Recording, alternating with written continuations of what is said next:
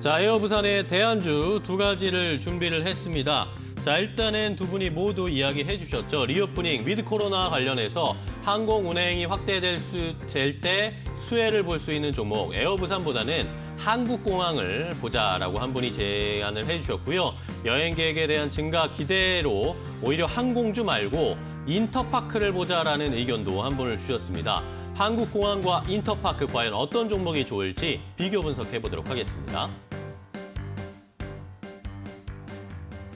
자, 두 분이 역시 reopening 그리고 관광객 수요가 늘어날 것에 대해서 대비하는 미리 좀 선반영해서 우리가 대응을 해보자라는 대안주로 하나씩 가지고 오셨는데 자, 일단 나연진 대표님이 인터파크를 가지고 오신 것도 재밌네요. 네. 네. 여행이 활성화된다면 그동안 이제 뭐 항공주가 먼저 어제 움직이기는 했지만 네네. 항공주 같은 경우는 아무래도 유형 자산을 보유하고 있고 그리고 그 유형 자산을 유지하기 위한 관리 비용도 상당히 많이 들고 그쵸. 그리고 뭐 음. 승무원이나 뭐 이런 그 인건비도 항공 기장을 뭐 바로 뭐 정리 해고를 한다든가 뭐 이럴 수 있는 상황이 아니기 때문에 인건비에 대한 부담까지도 있어서 오히려 그 여행 업종으로 볼, 볼 때는 그러니까 음. 여행사가 훨씬 더 유리한 측면이 있습니다. 네네. 그래서 그래서 그 지금 인터파크 같은 경우는 2019년을 기준으로 본다면은 그 회사의 매출에서 차지하고 있는 투어 여행 비중이 48%가 됐습니다. 어. 그리고 B2C 온라인 항공권 발권에서 마켓쉐어 1위를 차지했던 음. 그 업체고요. 근데 이런 업체가 2020년에 갑자기 이제 매출이 급감하면서 투어 여행이 차지하고 있는 매출 비중이 11%대로 갑작스럽게 크게 축소를 했습니다. 음, 뭐 이렇게 된다면은 여행 수요가 회복이 된다면 가장 큰 수혜 그 턴어라운드가 될수 있는 음. 것으로 보이고요. 그렇게 될 경우에 이제 영업이 기여도가 뭐 다른 공연이나 뭐 이런 그 상품 판매 보다는 이제 여행이 차지하고 있는 매출에서 나오는 영업이익이 훨씬 컸습니다. 근데 이런 부분이 2020년 크게 줄어들고 올해도 계속 적자를 그 이어오면서 뭐 지금 많이 감소를 했는데 이 부분은 한 번에 또 해소가 될수 음. 있을 것으로 보이고요.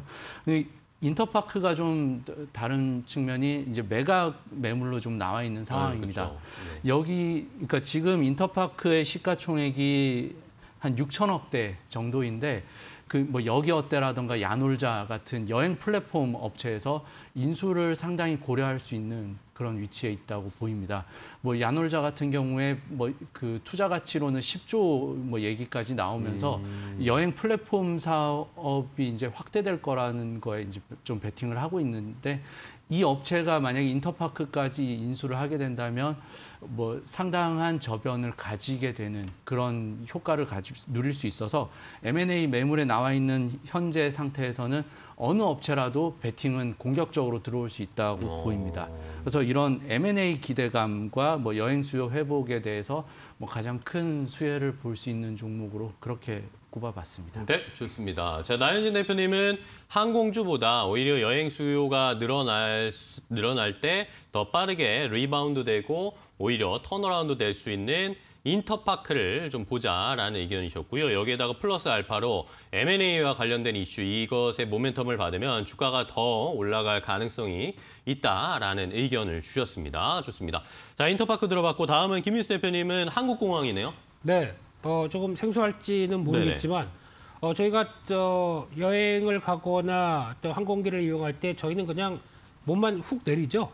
네. 네. 그리고 그냥 어, 톨게이트 어, 게이트를 지나는 상황이 되는데 그 사이에 바깥을 쳐다보게 되면 많은 사람들이 빠르게 일하고 있습니다. 네, 열심히 막 짐을 내리고. 그렇죠. 그렇죠. 그 관련된 모든 부대 행위를 하는 쪽이 한국공항이라고 아 보시면 될 것 같은데요. 네네. 그러다 보니까 항공기 쪽의 지상 조업이라든가 그리고 음. 또 화물 관련된 조업 그리고 또 항공기 급유까지 이런 모든 음. 서비스를 하는 상황 쪽에서 어, 특히 뭐 장비 대여까지 하다 보니까 이런 용역 서비스와 관련된 부분들을 담당한다라고 하게 되면 어, 여기에 수요가 늘어나면 늘어날수록 항공공항이 한국공항이 할 일이 더 많아진다라고 어. 봐야 될 것 같고요. 게다가 또 대한항공이 최대 주주입니다. 지분의 59%를 갖고 있다 보니까 어, 이번에 아시아나항공까지 같이 기업 결합이 이어져서 덩치가 커진다라고 하게 되면 실적이 더 높아질 가능성이 높겠죠. 그렇네요. 그렇기 때문에 음. 주목을 해서 봐야 될 것 같고요. 게다가 좀 더 특이한 상황들은 어, 지금 생수 사업도 하고 있는데 아, 그런가요? 예, 이거는 그냥 뭐 확대된 게 아니라 항공기 내에서 물 주죠. 아, 이렇게 네. 둥그러내서 이렇게 이렇게 따먹는 물. 예. 좀 오래된 것 같긴 한데 어. 예, 이런 쪽과 함께 농축산 쪽이면 뭐 제주 돼지 쪽 뭐 이런 쪽에 어 아무래도 저희가 기내식을 먹다 보니까 거기서 연결되는 이런 관련된 제품 판매가 이런 쪽으로도 연결된다는 부분들과 함께 음. 그렇군요. 어 비행기에서도 세탁도 해줍니까? 이건 모르겠는데 네. 아마 그 관련된 어, 비행기 안에 시트를 또 세탁하는 과정이 이어지다 보니까 아. 이게 매출로 잡히는 것 같고요.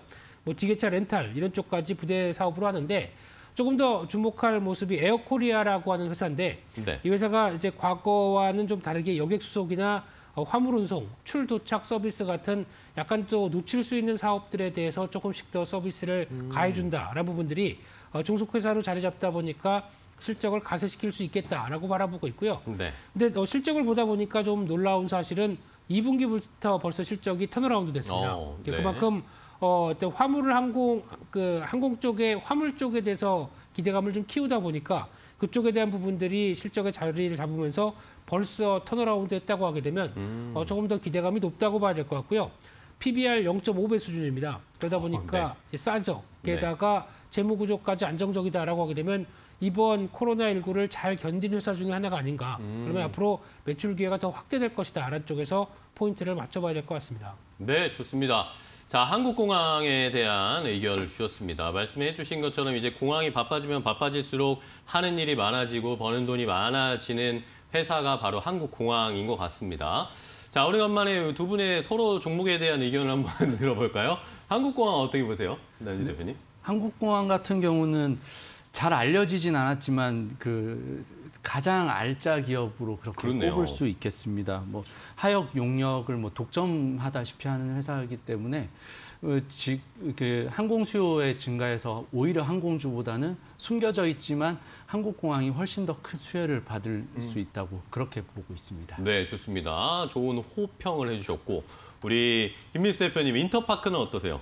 네, 어, 지금 자리면은 괜찮지 않나 싶습니다. 좀 네. 네, 많이 올라갔다가 좀 내려왔어요. 지금. 네, 어, 이, 빠졌어요. 정, 예, 이 정도면은 어느 정도 한번 또 뜨거웠던 뭐 M&A 열기라든가 이런 부분들이 어느 정도 좀 식은 상황 쪽에서 다시 어, 여행 부분에 대한 부각을 받게 된다라고 하게 되면 한 번쯤 반등이 한- 좀 나올 음. 그러니까 거래만 늘어나게 되면 어, 추가적으로 반응이 나올 자리가 아닌가 싶습니다. 네, 좋습니다. 역시 김민수 대표님도 인터파크 좋게 평가를 해주셨는데 M&A와 관련된 이슈가 다시 한번 또 나오기 시작하면 한번 불이 붙겠죠. 자, 그럼 인터파크의 가격 전략을 라이언진 대표님이 좀 제시를 해주시면 좋겠습니다. 네. 지난 7월에 M&A 기대가 나오면서 뭐 갑자기 급등했던 부분이 있었는데 네. 또 얼마 전에 9월 달에는 M&A가 뭐 연기되고 일정이 미뤄지고 하면서 음. 다시 또 하락을 크게 했습니다. 지금 현재 상황에서는 뭐 꼭 M&A뿐만 아니더라도 지금 이제 어느 정도 코로나를 그 회복해 가는 그 과정에서 상승이 나올 수 있는 자리라고 보고 있어서 한 7,500원 정도 이하에서는 매수가 가능한 것으로 보이고 네. 목표가는 뭐 그 거래량이 붙어서 단기 반등이 나오게 된다면 한 목표가 만 원 정도도 가능할 것으로 그렇게 보입니다. 손절가는 조금 타이트하게 잡고 대응을 해도 괜찮을 것으로 보입니다. 네, 좋습니다. 나현진 대표님이 인터파크에 대한 가격 전략을 제시를 해주었습니다. M&A에 관련된 이슈가 한번 살짝 가라앉으면서 주가도 좀 내려왔는데 오히려 지금이 좀 찬스일 수 있겠다라고 하시면서 목표가는 만 원 정도로 인터파크 제시를 해주셨고요. 자, 지금 뭐 유튜브에서도 인터파크 한국공항 다 좋네라는 그런 의견을 어, 시청자분들이 주시면서 가격 전략을 궁금해하실 것 같습니다. 그럼 이번에는 김민수 대표님이 한국공항 가격 전략 주실까요? 네, 어, 지금 가격대면은 이제 어제도 거래가 빠르게 늘어나면서 이제 추세 전환을 시도하는 상황들이고요. 네. 어, 그런 측면으로 봤을 때 어, 최근에 이어지는 거래 어, 간헐적으로 나오지만 어, 추세가 꺾이지 않는다는 관점 쪽에서 어, 관심이 높은 상황들이고요. 약간 5만 저 2천 원대 밑에 한 5만 천 원대 사이 정도면은 충분히 접근 가능하리라고 보여지고 있고요. 어, 목표가는 좀 장기로 봤었을 때 네. 아마 어, 지난 고점 대 부분을 충분히 돌파할 수 있는 여력들이 나오리라고 생각됩니다. 그렇기 때문에 아마 약 한 6만 3천 원에서 6만 5천 원 정도까지는 충분히 어, 목표가를 가져가시면서 대응 가능하다고 보여지고 있고요. 손절가는 4만 5천 원대로 말씀드리겠습니다. 네, 좋습니다. 한국공항까지 목표 가격은 전고점 부근이었던 6만 5천 원 제시를 해 주셨습니다. 자, reopening 그리고 with 코로나와 관련해서 수혜주 우리가 항공주만 보지 말고 한국공항과 인터파크도 한번 여러분들 잘 살펴보시고 앞으로의 추이 또 관심 종목에 잘 포함시켜 놓으시고 체- 체크를 해보시면 좋겠습니다. 오늘의 대안주 한국공항과 인터파크까지 확인을 해봤습니다. 자, 오늘 기대해도 괜찮은 이렇게 여기까지 좀 알아봤고요. 이제 오늘 시장에 대한 대비를 좀 해봐야 되겠습니다. 어제 우리 시장에 어쨌든 이 추석 연휴에 있었던 글로벌 증시의 충격파를 일단 한번 좀 받았는데 어제 그래도 시장 어떻게 보셨는지도 궁금하고요. 이게 하락이 나왔지만 좀 선방했던 것인지 두 분의 의견도 듣고 싶고 오늘 어떻게 대비할지 김민수 대표님부터. 네, 어제 또 시장 그나마 나름대로 선방했고요. 네. 근데 이제 중소형주들이 조금 좀 흔들리는 모습들은 보였어도 어, 여전히 또 시장의 어, 흐름들은 그래도 갈 길을 가고 있다라는 관점들인데 아마 오늘도 미국 시장이 강하다 보니까 이에 따른 변화가 좀 이어지되 아마 지금 어, 어떤 외국인들의 매수세나 그리고 또 이어지고 있는 환율 변화 같이 체크하시면서 오늘 탄력도 좀 비교하셔야 될 것 같습니다. 네, 좋습니다. 환율과 외국인의 수급을 좀 살펴보자 의견 주셨고요. 나윤진 대표님은요? 네, 이번에 추석 연휴의 일정이 어, 상당히 타이밍이 좋았습니다. 네. 뭐 추석 연휴 일정을 뭐 정할 수 있는 건 아니지만 그 대변수에서 한 발 물러서 있다 있었던 그 일정이 상당히 좋았고 아무래도 글로벌 증시의 안정이 좀 먼저 확인이 필요하겠지만 최근 시장이 많이 하락하면서 어, 그에 따른 가격 메리트가 생긴 종목이 많아졌습니다. 음. 오히려 이럴 때는 가격 메리트 있는 종목을 좀 더 찾아볼 수 있는 기회가 기회로 활용할 수 있겠습니다. 네, 좋습니다. 자, 많이 떨어져 있는 종목들, 좋은 종목 중에 한번 잘 골라보자라는 의견까지 주셨습니다. 오늘 두 분 좋은 종목 소개해 주셔서 감사하고요. 다음 시간에 또 뵙도록 하겠습니다. 벌써 주말이네요. 고생 많으셨습니다. 고맙습니다.